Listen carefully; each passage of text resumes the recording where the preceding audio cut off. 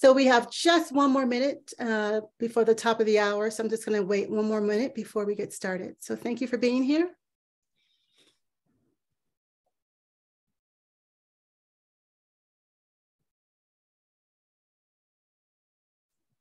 And it is six o'clock and I wanna thank you all for being here for the Tennessee and Oneida Stormwater Project Public Meeting. Uh, my name is Vanita Curry and I'm gonna be your moderator tonight. Uh, Matt, if you could go ahead and share your screen. We've got a lot of information that we want to share with you tonight about this project. Uh, and so we're going to just kind of jump right into it.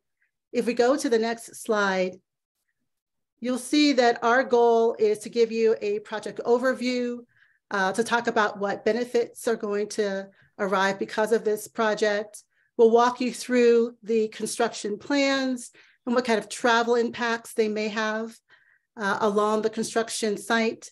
And then we're going to walk you through the timeline of what's going to happen and when, jump into your Q&A questions, and then uh, leave you with information on how you can contact the project team after tonight's public meeting. Uh, before I go any further, I want to recognize Councilman Kashmann's office and thank them for their support in publicizing uh, this public meeting uh, and for joining us tonight. So thank you so much. On our next slide,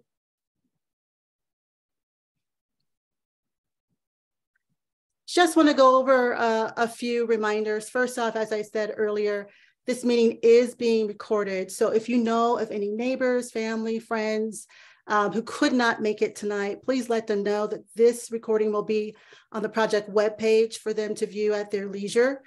Um, our goal tonight is to answer your questions. And so there are two ways we want you to do that. Uh, if you look at the bottom of your screen, you'll see that chat box op option. Uh, at any time during the presentation, please go ahead and submit your questions uh, to the project team. And then we're gonna answer those questions um, during our Q&A session. Uh, when we get to our Q&A session, uh, you can raise your hand to ask your question directly to the project team. So those are two options we want you to please take advantage of. On our next slide, I want to introduce you to our project team. And so tonight we've got Brian Hoover, who is the project manager. We've got assistant project manager, Matt Ferris. Our project inspector is Vu Trung. The construction lead uh, with BT Construction is Craig Wilkins. And so I want to hand it off now to Brian to kind of give us an overview of the project. Brian. Okay, thank you, Vanita. Um, basically the reason that we are doing this project is the city has identified a an area of flooding that occurs in the Tennessee and Oneida, Leetsdale and Oneida area. There's a shopping center there. And so ultimately we're trying to alleviate damage to property and uh, and risks to safety in that area in the event of a large flood, uh, large storm event. But we build these things from the downstream up. So what we're going to do to in this phase is just where the system is going to daylight into the Cherry Creek. Um, we're going to run two large pipes from Lollipop Lake, daylight out into Cherry Creek, and then start building the system from Lollipop Lake back up, lay pipe up into Kearney Street, go north on Kearney, and then uh, head east at Mississippi for about half a block, and then basically just put a plug in the pipe and that's the end of phase one. Uh, then phase two, when that gets underway, we'll just tie on to where we stopped at phase one. But phase one is basically just the area around Garland Park. Um, and we are putting in a large water quality vault too to help clean the water before it goes into Lollipop Lake and then ultimately into um, the Cherry Creek waterway. So that's kind of an overview of why we're doing it and where we're going to be working. Basically, it's uh, Cherry Creek Drive North, Kearney, Mississippi, uh, that whole part of town. Um, you can go to the next slide. So the benefits to this project, like I mentioned, ultimately we're going to be relieving flooding risks up at um, what we call a sump, an area that is known to flood during large storm events. Um, and ultimately, you know, when we decrease the risk of flood. We increase uh, safety for pedestrians and cars driving through a major storm event. Basically, we're just trying to convey all of this big storm water event uh, into a system of pipes under the street and then safely into Lollipop Lake and ultimately into the Cherry Creek. Um, and then another benefit, like I mentioned before, this water quality vault that we're going to be putting underground under Kearney Street um, will take all of this um, runoff from a major storm event that runs down the flow line of the curb and gutter, runs across parking lots, picks up sediment, picks up, you know, motor oil, antifreeze, any kind of pollutant or um, debris. And instead of putting that into Lollipop Lake and ultimately into Cherry Creek, it will be capturing it in this vault that our operations crew can go out and use a vacuum truck and clean out periodically and basically increase the water quality that we discharge into uh, the major waterway of the Denver area. So those are the project benefits. Um, I'd like to hand it off to Craig now to get a little, little bit more into the nitty gritty of what this phase one is going to look like. Craig? Yeah, sure thing. Thanks, Brian. Um, so as Brian mentioned, the water is generally flowing um, from the intersection of Mississippi and Kearney, at least on this phase, and down into Lollipop Lake. Um, what we're seeing on this slide is uh, kind of how we're reshaping the ground over there to receive that new water. Um, so this dark green is all earthworks. We'll be um, reshaping Lollipop Lake to extend northward a little bit. Um, and then this black line coming up from the north, that's going to be our eight by seven foot box culvert. Um, that'll be buried from there on out. Um, let's see. So you've got a, a, couple renderings on here of, of what it should look like at the end of the day. Um, Matt, if you want to go to the next slide. Um, and then on the downstream side, so we talked a little bit about everything that's dumping into Lollipop Lake. Um, on the south side of Lollipop Lake and just south of Cherry Creek Drive North is where that ultimately discharges into the Cherry Creek waterway. Um, so another rendering that you see down here, um, you're seeing a, a, double box culvert um, that'll be carrying the overflow water from Lollipop Lake into Cherry Creek.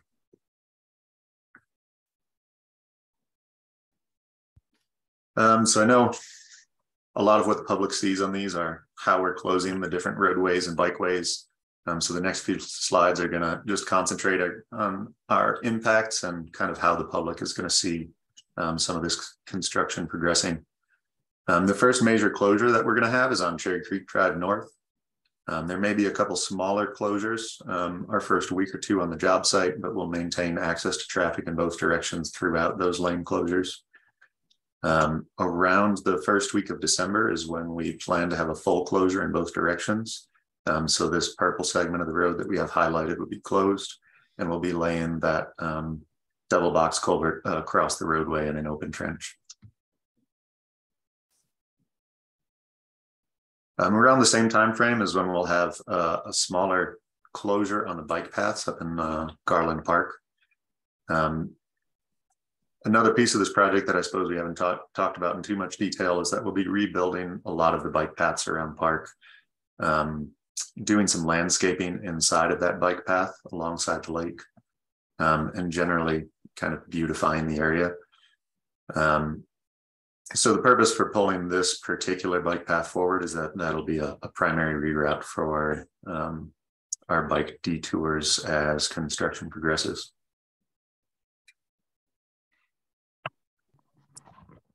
Um, a second closure that will be added along with closure number one is uh, this other area up at the intersection of uh, Mississippi and Kearney. The intersection itself should stay open, but we'll be closing it down from um, just south of that intersection down to the parking lot ball field entrance. Um, and this is going to be a staging area for construction materials as they're coming and going throughout the job. Um, that closure will be a little bit longer. Um, Sorry, it was listed over there on the left, but we expect that to stay closed for the duration of the job. So approximately uh, December to May of next year.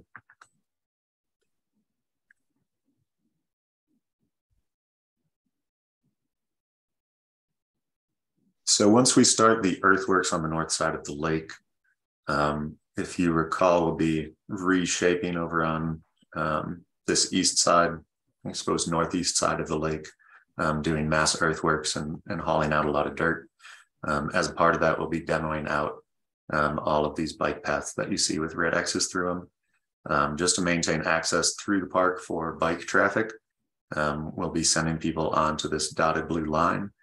Um, so there'll be um, some kind of delineation on Kearney Street um, to, to separate that bike lane from traffic um, and reroute them onto this newly paved um, concrete bike path um, that you see running east to west north of the closure.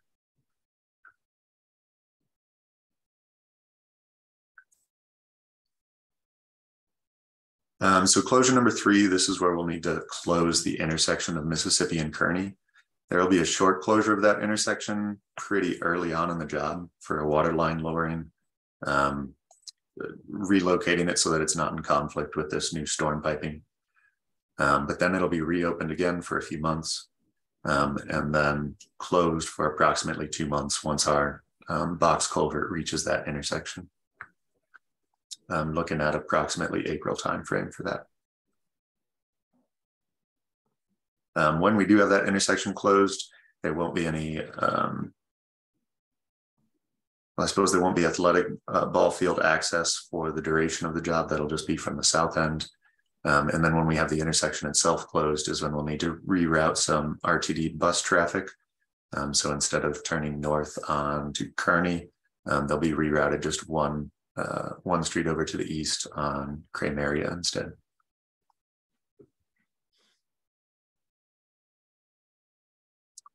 All right, I think this is our last bike closure.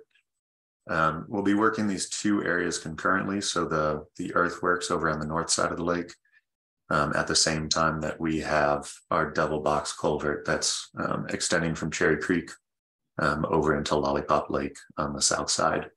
Um, so in that case, we'll have uh, all of all of these paths closed down, um, and we'll continue to reroute that bike traffic over on Kearney Street.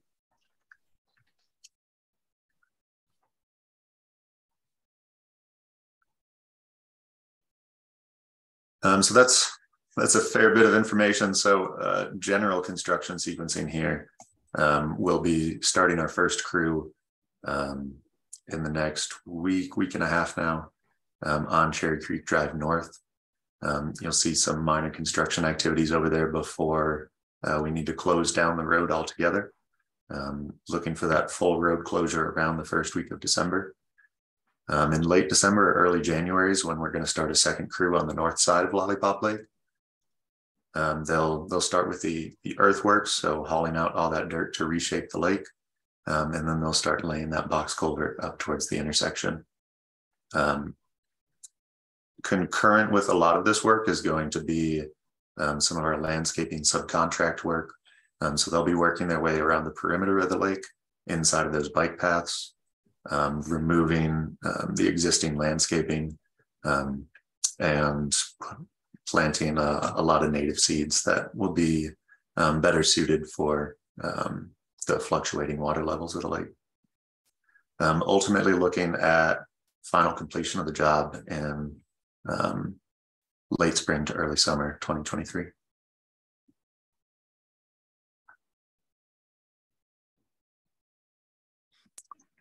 Um, and truck routes. So we're moving a lot of dirt on the job, either by um, removing it for trenching while we're laying box culvert or for some of the earthworks.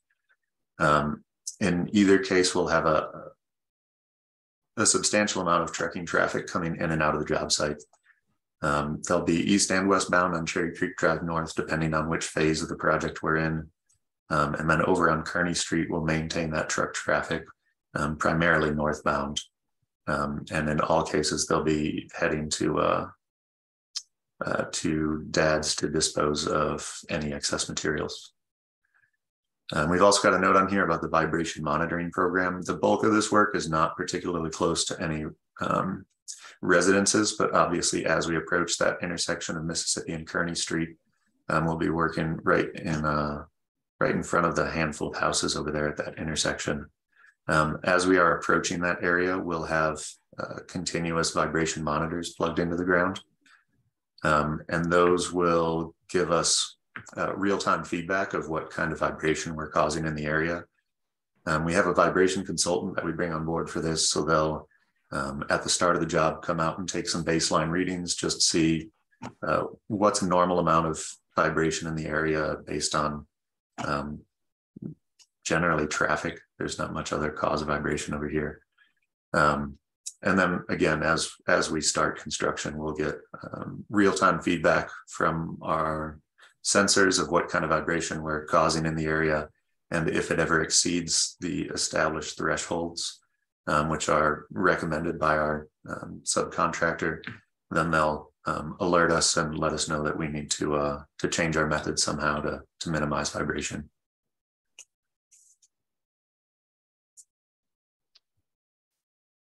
All right, uh, I'm just going to go through a couple of additional benefits that the public will get out of this project.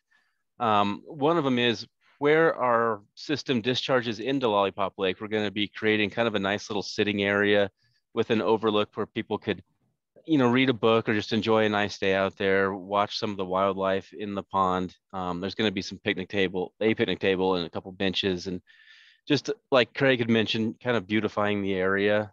Um, another thing that we're going to do is from the the walking path or the bike path that surrounds Lollipop Lake down to the water's edge, we're going to convert that area from like turf from sod to some more native grasses and also regrade that area. If if you've ever been over there recently, you know that as you get down to the water's edge, it's kind of like a two foot little cliff there where water has just eroded the bank uh, right at the water's edge and it's just kind of a drop off. So we're going to be reshaping, regrading from the water back up to the uh, that concrete path at more of a gentle four to one slope. Um, another thing that we're going to do is the the path around there right now. There's areas that are kind of just like a six foot wide uh, asphalt, old asphalt path. We're going to be upgrading that whole path system, that bike path, to 10, uh, eight foot wide. In some areas, it tapers to 10 feet wide with a nice new concrete surface. Um, just, you know, upgrading the, the amenities there. And um, there's a, that path connects to Kearney at Mississippi. Currently, that connection is not ADA compliant. It's a pretty steep asphalt path that just drops right off into Kearney. So we're going to be bringing that connection up to um, compliant compliancy with the Americans with Disability Act. And um, also we're going to add a pollinator garden as part of this project, which will um, attract different insects that help spread, uh, you know, pollen and help germinate the area. Again, making the park a nicer place to be. So um, I think those are some some pretty cool benefits that the public will enjoy at the end of this project. Um, so with that, I will send it back to Vanita to do some Q&A. Thank you so much, Brian and Craig. Um, we have another team member um, that's joined us tonight, Brent uh, with Valerian, and, and they're leading the efforts around um, improvements for landscaping. And I just wanted to invite him to provide some more details about what kind of improvements you'll see while, while I also ask you to please put in your questions. Um, sir, do you guys hear feedback? I do a little bit. Hold on one second. Um, I wanted to encourage you to please um, put in your questions into the chat box um, and be prepared to raise your hand uh, if, you, if you have any additional questions. But let me hand it over to, to Brent to please uh, walk us through some additional benefits around landscaping. Yeah, really, uh, Brian. Brian really touched on most of the of the items that we had planned for the park. Um, the one item I also wanted to touch on is the the boulder work that we're adding um, to the outfall area um, it's going to be a, a, really nice area that you know, you could um, uh, interact with hopefully the um, the native vegetation that we have going on there. Also a great spot that you know you can go and, and watch wildlife uh, birding but then also just a good spot to maybe go and read a book. Um, I'll touch on the, the trails around. Um, yeah, mostly um, making sure that we're buttoning up everything that we're touching as far as putting in the improvements um, with the project. Um, but then also, you know, adding improvements where um, where we could um, in in the project. That ADA accessibility on on Kearney is is a big um, is a big uh, add for sure. Um, the the last item I want to talk about is the um, the vegetation, the existing vegetation that's there now. Um, a lot of the trees we are um, we are keeping, and um, it was it was um, a part of our design to really work with uh, what was existing out on site and making sure we weren't impacting a lot of those. So a lot of those trees are are remaining. I believe that we are taking out a couple of trees at the outfall near um, near Cherry Creek um, on the Cherry Creek side. But then also on the Lollipop Lake side, we are taking out a couple of ash trees, which are um, not as high value anymore just because of the ash borer. Um, and so what we are doing is instead of um, instead of planting new ashes back, we are actually adding trees as a part of this project on the outfall um, from at Kearney, and then also um, near the outfall uh, on Cherry Creek to really kind of button that up and, and replace what we are um, removing and then and, and adding in some more. Um, there's also some wetland plantings along the, um, the shoreline as well to um, really hold back that water action that we've seen um, erode the, the shoreline. And so hopefully that vegetation will also um, uh, help to alleviate any of that issue going forward. Um, and then um, as we put in some of that vegetation as well, there will be um, goose protection out there. So I wanted to set that um, expectation. So we are trying to protect the vegetation that we're planting along the shoreline as well. Um, and uh, just know that that will be there until we can get establishment of that um, vegetation so that the geese don't uh, pull out all the plants that we're trying to put in there. Um, other than that, yeah, like I said, Ryan really touched on everything. That pollinator garden is really, like he said, to, to attract um, native insects and um, really provide a spot where um, people want to go and visit and, and um, again, look at look at wildlife, look at the uh, the insects that are that are native to our area. So um, that's that's really all I wanted to touch on. Thank you, uh, Manisha, for uh, for allowing me to talk. Thanks so much, Brent. Really appreciate that.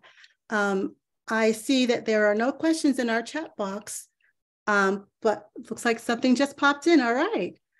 Um, this is from Kelly Morrison. I've read that Denver Parks is uh, planting taller grasses around all of the lakes in the parks. It reduces the comfort level of the geese because they have a reduced view of predators. Is that the plan for Lollipop Lake? uh, wouldn't mind fewer geese. so uh, Brent, can you help answer that question from Kelly? I can, yes. Um, our mix uh, does include some taller grasses for sure, um, especially on that shoreline. Um, our idea, again, that those wetland species that we're planting in there will be a little bit taller. So the idea is to, to prevent um, as many geese as we can from, from eating all that grass. And um, and really providing a buffer as well from the trail to the lake as well to try to give, um, you know, just that turf reduction and and all of that. So um, and really um, another part of that too is to really um, be cognizant of our water use in our parks. Um, that native grass will will hopefully use less water and and um, we'll be a little bit more conscious of our water use as we're going forward.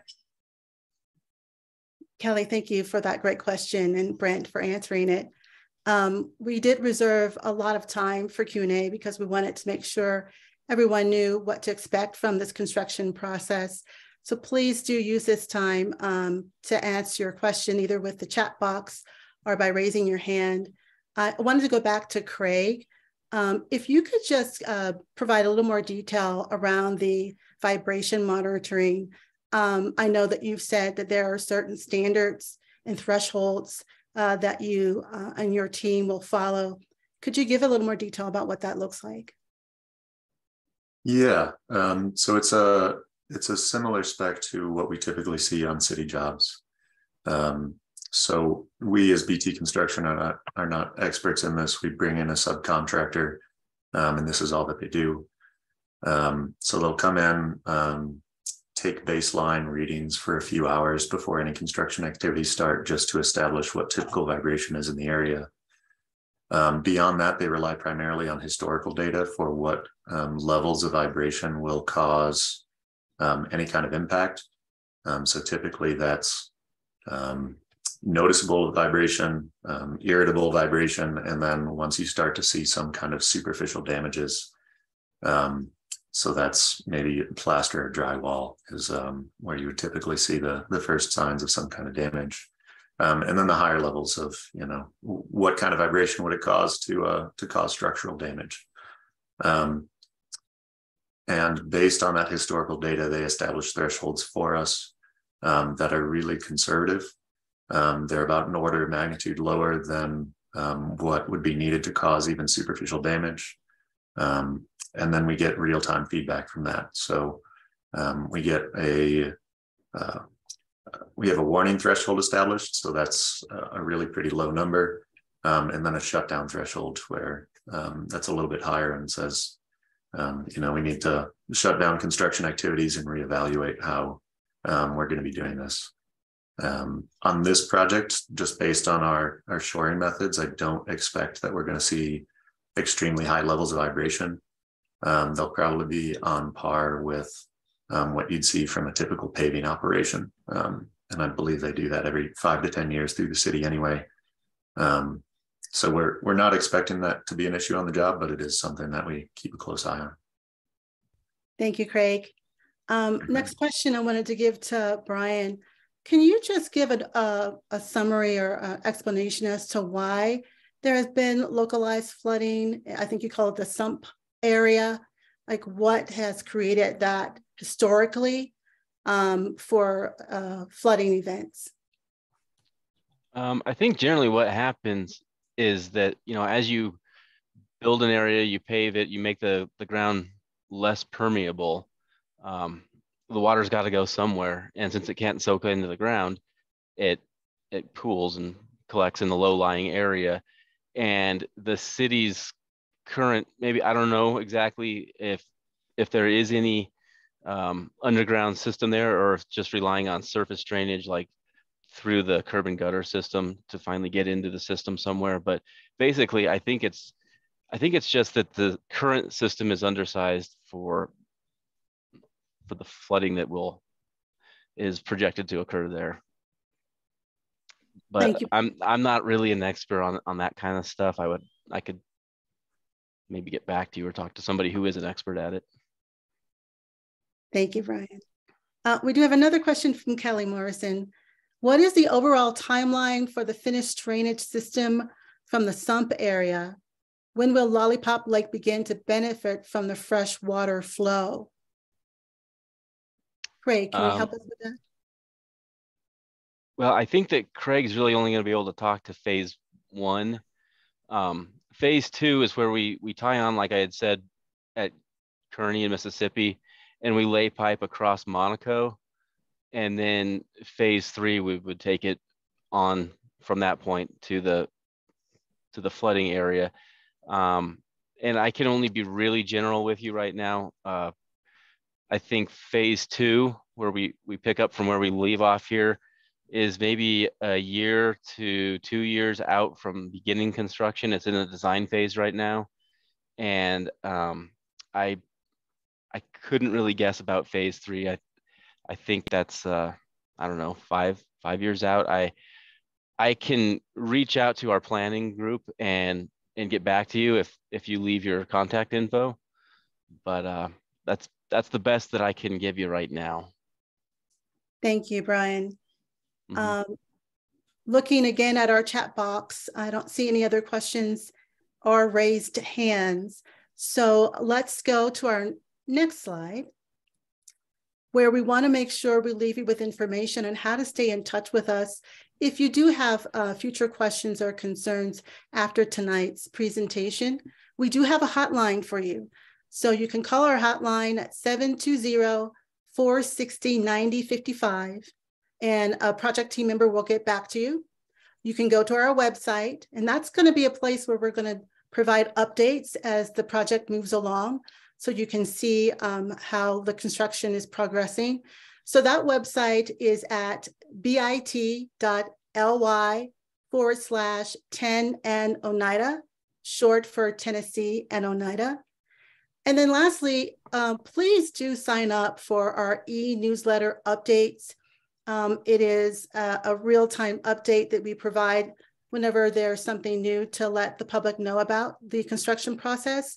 And that uh, email address is ccd.constructionupdates, plural, at gmail.com.